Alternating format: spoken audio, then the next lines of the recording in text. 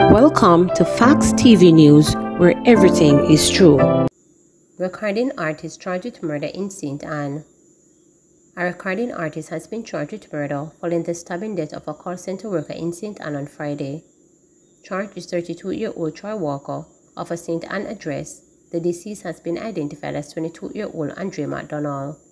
Reports from the Brownstown police are that about 12.20 a.m., both men were at a function in their community when an argument developed between them. During the altercation, Walker allegedly used a pair of scissors to stab McDonald. McDonald left the function and later returned to Walker's home with a knife where he attacked him. A tussle ensued, citizens intervened, and the now deceased man was seen lying on his back in a pool of blood. He was taken to hospital where he was pronounced dead. Walker was apprehended and subsequently charged on Friday after a question and answer session and an identification parade. Mad Dog and girlfriend charged after gun found in Kingston home. A couple has been charged for the seizure of a firearm and several rounds of ammunition during an operation at their home on Klinkling Avenue, Kingston on Thursday. Charged with unauthorized possession of ammunition are 22-year-old Stephen Brown, otherwise called Mad Dog of Klinkling Avenue, and 29-year-old Jennifer Francis of Williams Crescent in the parish. Reports that the operation that commenced about 4 a.m. resulted in the seizure of one pistol, 56 9mm cartridge, or around premises, and four 5.56 cartridges inside a room occupied by the couple. Three people, including Brown and Francis, were taken into custody. Investigation continues into the seizure of the weapon and additional ammunition. The third person, a man, remains in custody. Senate passes bill to change retirement age for DPP and AG despite objection from opposition senators. The bill to amend the Constitution to raise the age of retirement for holders of the offices of the Director of Public Prosecutions DPP and the Auditor General from 60 to 65 years was passed in the Senate on July 28 despite a lack of support from opposition senators. The Constitutional Act 2023 to facilitate the change have been approved by the Lower House on Tuesday. Speaking on the matter in the upper house, opposition Senator Lambert Brown said the government should allow for the proper procedural course for the passing of the bill as it was done unconstitutionally. He said the House should allow for more discussion on the bill and await the decision of the Supreme Court on the matter.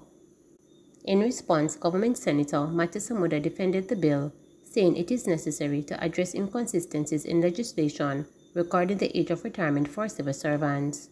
I believe the suspension of the standing order today ought not to be agreed to, and we as senators should allow the co-equal branch, the judiciary, to make their pronouncement on Monday. My position is don't rush this bill. Allow for the people to have a say. Allow for the senators to be able to consult with the citizens. Allow us to exercise our independence in an informed manner.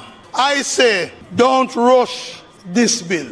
I will vote no, and those opposition senator present will divide to show to the country that the seven House present will vote no against this postponement of the standing orders. We will also divide so the country will know by name who voted for and who voted against what to me is an abuse of the parliamentary process. It's an abuse of the constitution. And that I, like the rest of you, swore that we will uphold the constitution and laws of Jamaica. Mr. President, those who are willing to play politics with the constitution ought not to be allowed so to do.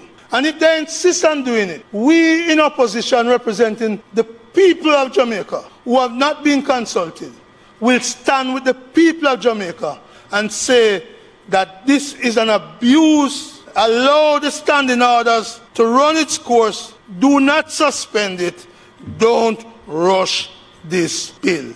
May it please you, Mr. President, as I await Monday's decision of the full court of the Supreme Senator Court Brown. in this matter. You can shut me down on that, yeah. but Monday come in. Established ceiling for that age for the retirement of the Auditor General and the DPP is actually five years shorter in duration when compared to the upper limit set in the Pensions Public Service Act for a public officer in the civil service, and indeed 10 years shorter than that of a High Court judge and a judge on the Court of Appeal. Proposed amendments to the Constitution will allow for the expansion of the term of service from 60 to 65 years, thereby addressing the inconsistency that currently exists between the two pieces of legislation and by extension creating a more level playing field for all. Specialized burn unit among upgrades to come from UHWI, stated Dr. Tufton. I think that, that Ms. Mackenzie's story of 19 surgeries and life is an indication of the tremendous work that our own local healthcare infrastructure, including the doctors, have done to secure life and livelihood for persons who have been unfortunate to meet in this. And so there is a misnomer that we have no burn unit in Jamaica or no burn center, and I think this clears that up. In fact, we do have facilities at the UWI, you saw that. We have a facility at Bustamante Hospital for Children, Cornwall Regional Hospital, and KPH. We see about a thousand, I'm told, patients a year, most of them not severe, and the current infrastructure is able to treat with these patients, but we do have the severe burns. And for that reason, this burn unit, an advanced unit, as you have seen and heard about, is necessary to save lives. And for that reason, I fully endorse it, the Ministry of Health. We are embarking on modernizing our society. And I dare say again, in the interest of supporting my government. We do have a major plan for the expansion of the University Hospital of the West Indies. This year we expect to reroute the ring road. That is going through the procurement process, about 500 million committed. Next year, we're going through the procurement process to add a tower, a six-story tower, brand new and equipped, which will see significant additional capacity in terms of operating theater space and so on. What I saw there on the video doesn't reflect the new dispensation and the new vision. What we need is a burn unit that's modern and that complements the expansion, almost 30 or 40 million US, that will take place hopefully starting next year. The University Hospital of the West Indies needs to be modernized, and I think in the context of that modernization program, the burn unit is absolutely critical. And of course, the ultimate goal is to provide greater life-saving capacity for the people of Jamaica. Black River Hospital to be upgraded. Plans are in place to upgrade the Black River Hospital in St. Elizabeth from a Type C facility to a Type B. We are upgrading the entity to a Type B hospital, and we are now in the process of looking at securing the design of new additional facilities and architectural work, which will then lead to the build-out, Minister of Health and Wellness Dr. Christopher Tufton stated. He made the announcement at the official commissioning of the digital retrofit system at the facility on Friday. The move to a Type B facility will usher in a host of improvements for the hospital with a focus on increased services and enhanced patient care. What a Type B means is that we add a greater number of services such as lab services and more specialized offerings, all of which require the necessary space and infrastructure, Tufton explained. He added that a suitable space to accommodate the enhanced services has been identified at the back of the hospital. Tufton said the impending development marks a positive turning point for the institution and the community it serves. He points out that with Black River being the capital of the parish and with the population on the rise, access to improved healthcare services is of utmost importance for the town. We are going to make sure that it happened because you deserve it, he stated. In the meantime, Tufton lauded the Southern Regional Health Authority for the procurement of over 37 million digital retrofitting system for the hospital. It is in keeping with the transformation we are pursuing in public hospital.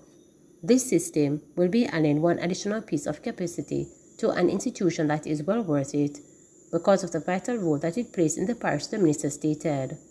There are several benefits to be derived from this system including faster image acquisition, better workflow, superior image quality, less radiation exposure for patients, better monitoring of patient radiation dose, reduced operation cost, faster image distribution, and less storage needs. Please remember to subscribe, like, share, and click the notification bell